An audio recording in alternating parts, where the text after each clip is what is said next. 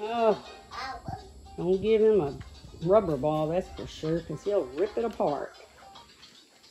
He loves to play. Don't you, Bruce? You love to play, buddy. You love to play. That's his favorite toy right there. There we go. That's his favorite toy. Yep, that's his favorite toy. Get it, Bruce. Uh-oh. Did it go under? No, you got it. You got it, buddy. You got it, buddy.